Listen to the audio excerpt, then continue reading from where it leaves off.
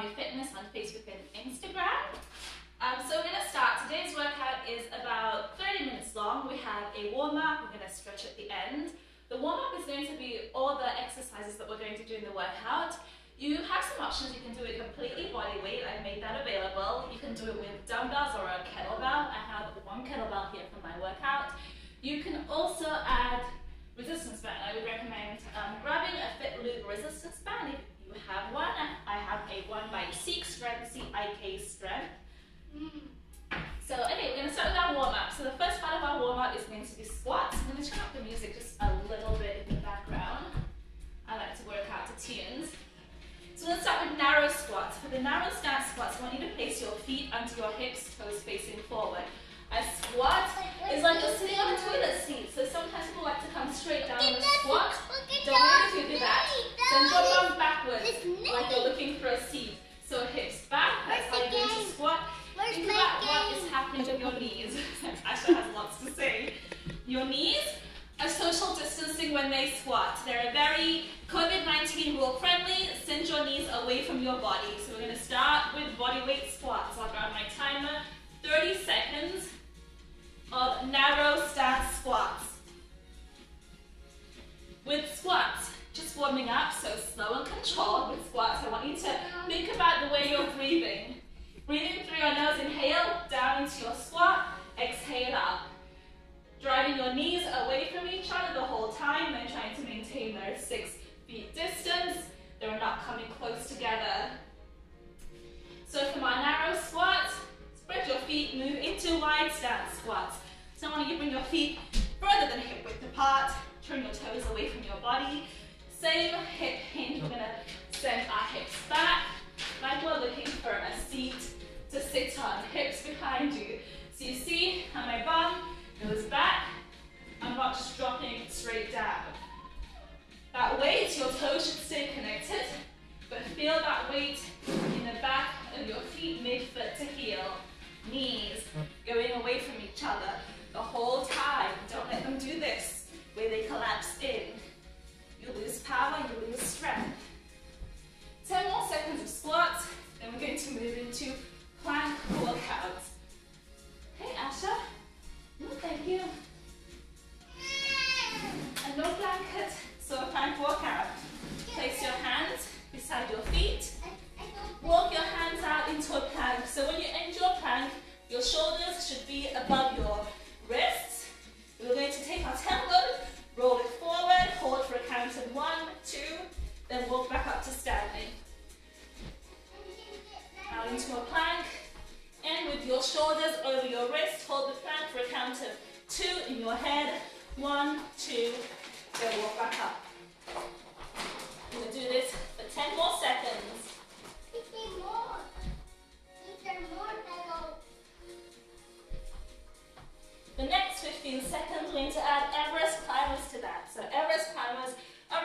Wide mountain climbers. Walk your feet out, take your hands out, sorry, take your feet. You're gonna place them as close to your hands as you can get them. Left foot forward, then back, right foot forward, then back, and walk to standing. So as you put down your feet, I want you to try and get your heel down. So if you're up here and you can't get your heel down, move your foot back to where your heel connects with the ground. thank you, Asha. No, thank you. You gotta move your blanket and stuff. No, thank you. So, plank walkouts. From a plank walkout, in 10 seconds, we're gonna drop to our belly and do five supermans. Walk out into the plank, come down to your belly, your options for a superman. You have your hands by your sides, exhaling up. As you come up, pull your thighs and chest up from the ground. You're also drawing your belly button up, away from the ground. Second way to do superman palms by your ears. Exhale, as you come up, hold at the top for one, two. Inhale at the bottom. The third way, arms extended overhead. Exhale up, hold for one, two. Inhale at the bottom. To do five supermans, picking your, your way of doing it. Remember as you come up, exhale, draw your belly button away from the mat Your belly should not be doming into the mat, should not be doming into the ground. We're five minutes into our warm up. Come back up to standing. We're moving to reverse lunges. Left foot first. So take the left foot, step it back behind you, stepping it in line with your hips. Send your hips back to sit down into the lunge. So that front foot, your knee should be hovering over your ankles, but you're sitting, sending your body weight into your back leg. Push through the back leg to come up. So with the re reverse lunge, as your leg goes back, your hips hinge back too. At the bottom of the lunge, you should feel that weight, about 80% of your body weight in your back leg, not in your front leg. I'm going to be lunging for 15 more seconds. On the left, leaning with your left leg, and then change sides. With a lunge, be mindful that that right knee, you're driving it away from your body. Again, social distancing knees. They're moving away from your body, not towards you. When I switch sides, lunging, leading with your right foot. So you see how the bottom of the lunge, my hips are back, my chest is forward. I'm not completely upright. With the reverse lunge, it's a hinge. So as my hips go back, my chest follows, and I'm going to hinge forward at the bottom of that lunge, pushing through the back leg to come back up. You're going to do plank walkouts again, but this time, walk your feet behind you. Place your hands by your feet, walk your feet behind you, keeping your legs as straight as possible. Walk your feet back to your hands. We're trying to stretch out our hamstrings, the muscles in the back of our legs.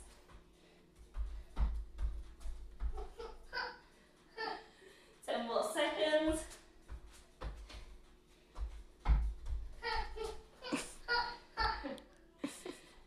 this time walk out, hold the plank. Without rotating your hips, tap your shoulders. One, two,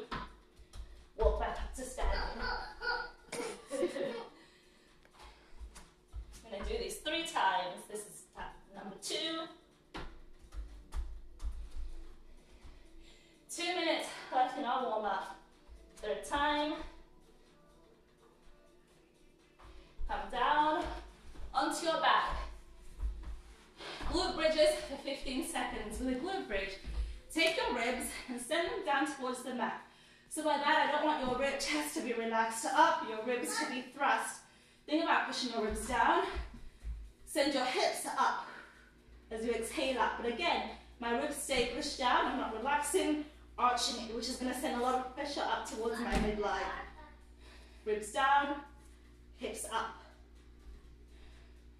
As you come up in your glute bridge, remember your knees, drive them out. They're not going to come in towards each other. You're going to push them out away from your body. Exhale, coming up. Good. Face your belly button, tuck your chin. It might help you keep that ribs down position. Also, watching your belly button as you come up into that glute bridge, your belly should be flat. You're exhaling up. Your belly should not be doming as you come up into the bridge. Five more seconds. Three, two, one. Come back up to standing. We're going to do forward lunges. So forward lunges, step your foot forward. So this time you're still hinging with your hips, but now your body weight is in that front foot. We're stepping forward, stepping far enough that that front heel is planted. Your front heel should not be disconnected from the floor.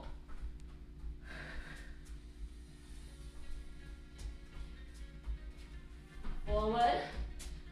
This time reach your toes. So lunge forward and reach your toes, reach for your left foot using your right hand.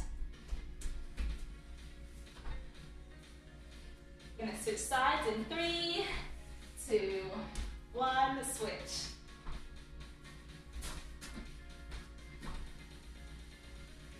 Shit, I was lunging first. I got ahead of myself. Just forward lunges for 10 more seconds and then we're gonna lunge and reach.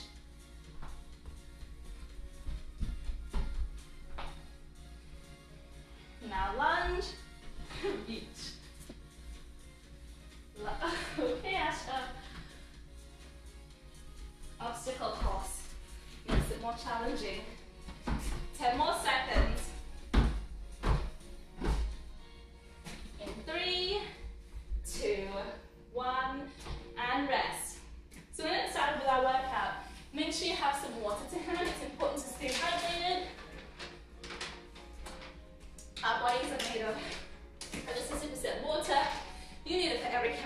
Reaction. You need to rehydrate. So this workout is an EMOM, which stands for every minute on the minute. So we have 15 minutes, and every minute you have a different exercise. Three minutes of movement, one minute of rest. So our first minute are narrow to wide squats, which is why they were in the warm-up. So the narrow squats, your feet are under your hips. So wherever your hips are, hip bones are here, my feet is directly under them, toes pointed forward. The squat, I'm gonna sit back. So imagine there's a seat here, and I'm trying to find that seat with my bum.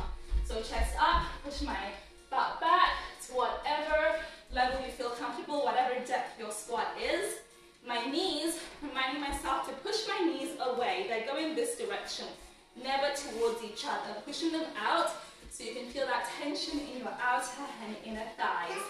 So it's one minute, narrow squats, and then we're gonna step out, wide squats. Narrow squats, wide squats. You can do that body weight, you can grab some dumbbells, hold it however you like. I have a kettlebell. The second minute are push-ups to Everest climbers. Okay, you gotta get out of here. Push-ups. Your options for push-ups. You can do them on your knees. If you're on your knees, your shoulders are over your wrists. Your knees are behind your hips, toes are connected to the ground. A push-up is your chest to the floor. So you're going to bring push up to Everest climbers. Your chest all the way to the floor. There's connection. Then come back up. Everest climbers. Push your knees up into the plank position. Foot forward and back. Try to connect your heel every time. So a wide um, a stride as you can take, but I want you to get your heel down. So if you're up here and your heel's disconnected, I want you to move your foot back to wherever your heel is connected to the ground. So it's going to be for the second minute, your third minute, or reverse lunges. So that again, body weight reverse lunges, alternating, or you can grab weights, dumbbells, kettlebells, whatever variation of weights that you want to hold. So we're going to get started.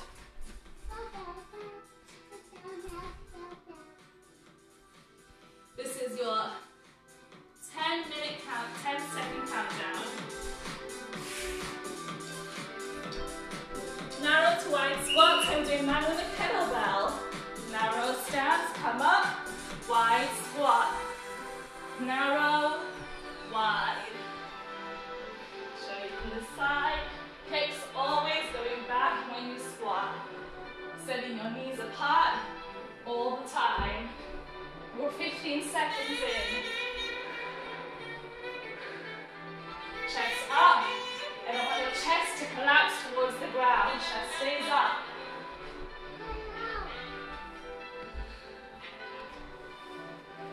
Twenty-five seconds left. Second minute.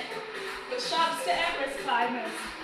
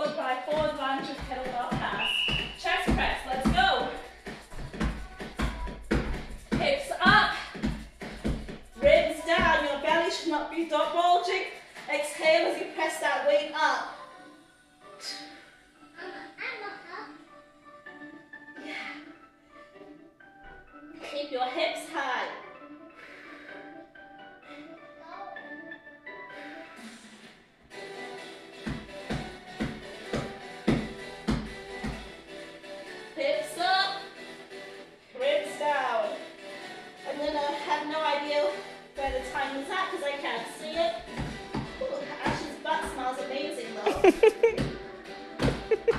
take my time up.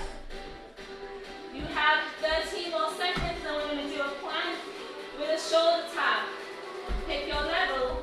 Knees under your hips, knees behind your hips, or up on your toes. Shoulders over your wrists.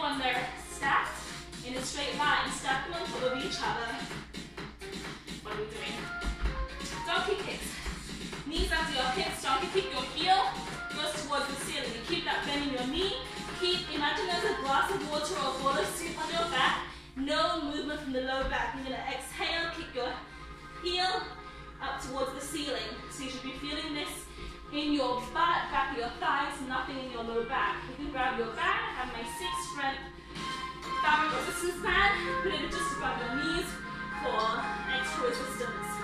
We're gonna start, left foot first, kick your heel up to the ceiling, no movement from your lower back, so with that, by that I mean no arching that back, back stays stable. This movement is glute driven, do not bend your elbows, this shouldn't be happening either. Lock your elbows. Only thing moving is your heel towards the ceiling. You're not straightening your leg. You're keeping that bend. Heel goes up. 30 more seconds. Switch sides. Next exercise will be banded glute bridges.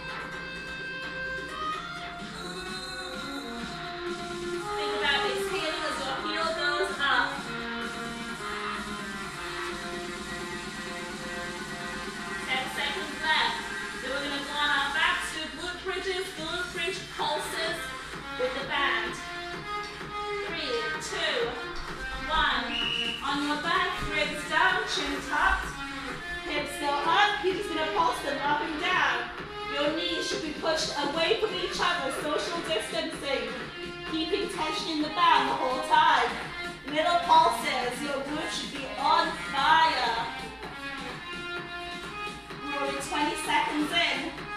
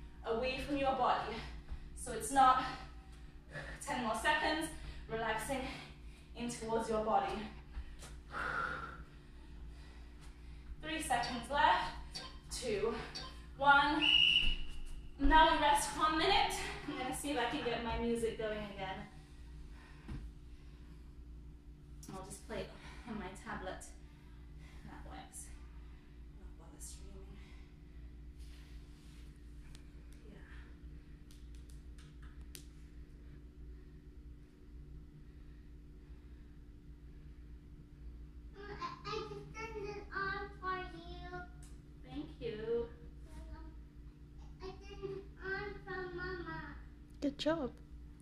Uh, oh, We've got 20 more seconds. We're going to start with a half burpee to a dead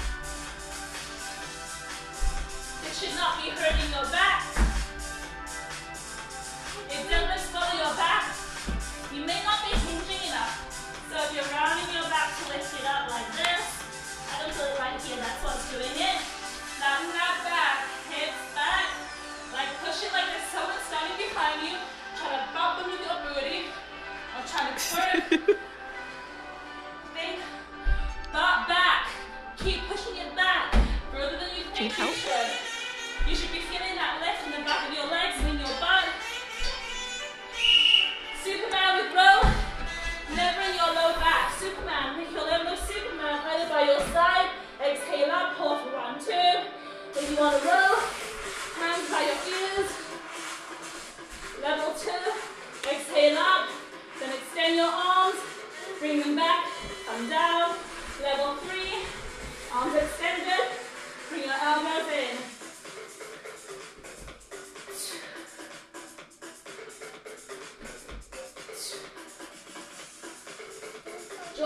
Away from the mat, away from the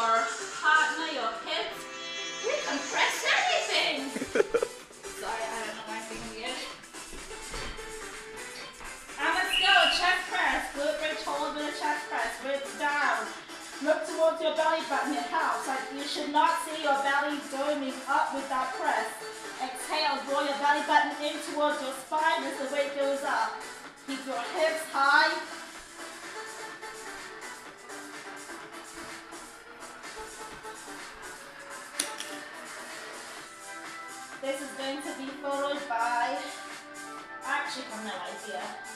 Have at my plan. So you know it's a good workout when all the blood rushes from your brain, it's all in my muscles. Nothing I'm saying makes sense anymore. Exhale up, accept, exhale up. 13 more seconds, let's see what's next. Plank with shoulder tap, yeah, seven more seconds. In three seconds, you're gonna get into your plank position. Plank with shoulder tap, either on your knees or up on your toes. What's important about your plank? I don't want your hips to rotate. Your wrist should be under your shoulders. You're tapping without rotating. It's about control. Stable hips. I exhale with that tap. Every time I exhale, I remind myself to draw my belly button in a little bit towards my spine so my belly's not completely relaxed towards the ground. With that tension though, and not squeezing as hard as possible, I teach my clients about 30% tension. Exhale and pull in about 30%. Now exhale and squeeze as tight as possible. 20 more seconds. Then this is followed by a forward lunge with a toe touch or a kettlebell pass. So it's gonna look like this, 10 seconds. You're gonna lunge forward, you're either gonna reach your toes with the opposite hand. Have a weight, kettlebell or a dumbbell, you place that weight outside your foot. Lunge forward, grab the weight with the opposite hand, bring it to the inside of your foot. And then switch legs, so it ends up on the outside of the other foot. As you're lifting the weight, or touching your toes, that front leg knee, you're pushing it slightly away from your body. This helps stabilize it. One minute break in 30 seconds. Then we have three minutes left in the workout.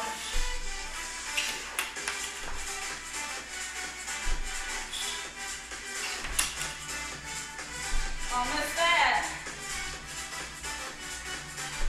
We're gonna have a five minute cool down with some stretches. We're gonna have some lunch. Easy peasy. The quarantine workout in. One minute rest, so we have three minutes left. Grab your bands. If you don't have any, grab yourself. and um, donkey kicks, glute bridges, and lateral band walk. Then we have five minutes of stretches. And we're done.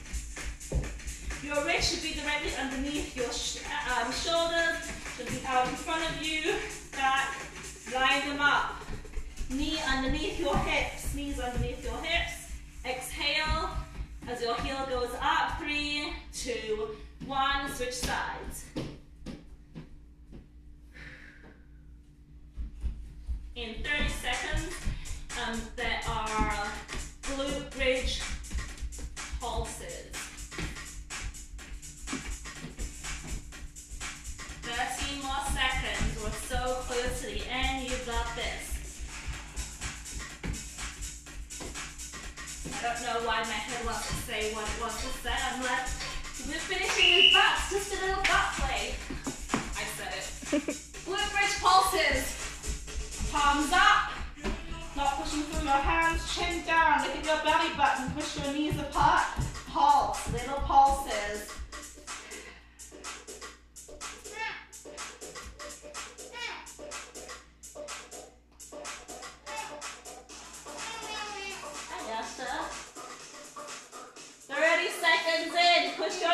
Apart. Don't let them relax towards each other. They're gonna want to because everything is sore, everything is burning. Push them out. We're so close. There's like 90 seconds left in this whole workout.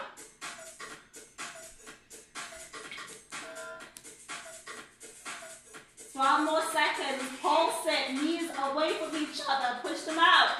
Social distance. Baby. That's not. Come up. No squats, lateral walk. Hips back. Two steps to the left, two steps to the right. Get as low as you can handle. What's this? it's my fault for saying butt play. 20 more seconds. Whew. Drop it. There's only 33 seconds left.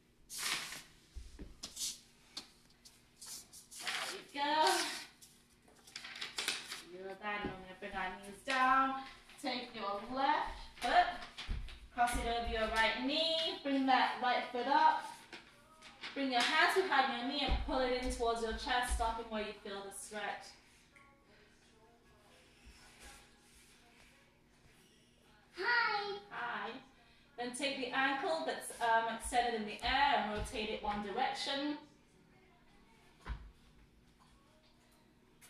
And then the other direction.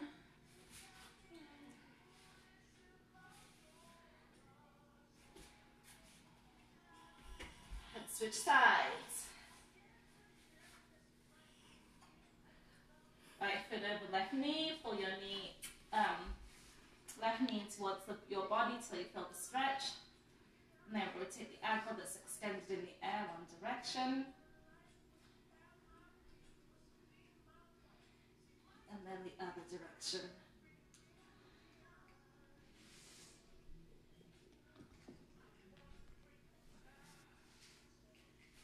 Knees down, you roll forward. Maybe just spread your knees apart. Turn your toes out away from each other. Down on your forearms and push your hips straight back so you feel the stretch in your inner thighs. And then hold.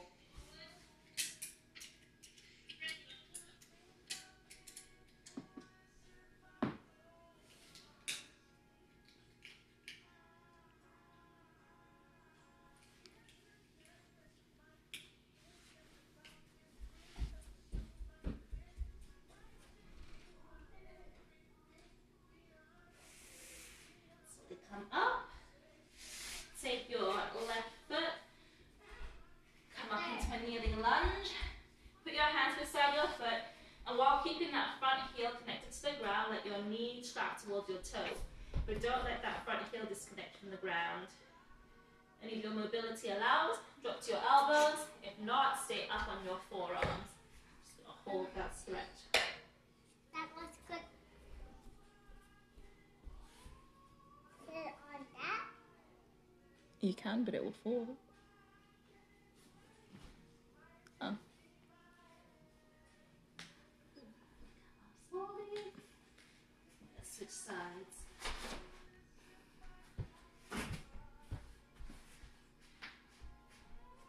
You might find that you are more flexible on one side than you are the other.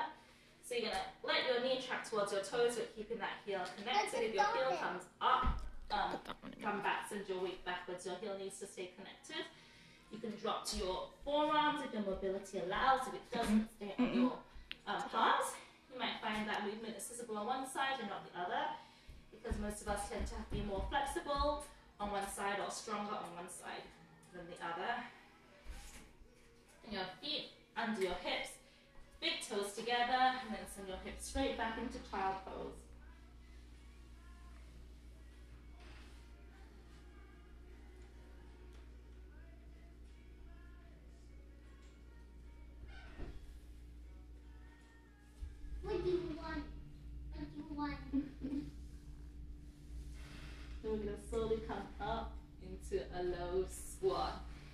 Your low squat hold, make sure that your heels are connected to the ground. If you can't get your heels down and you're up on your toes, then put your hands in front of you and transfer some of that body weight into your palms.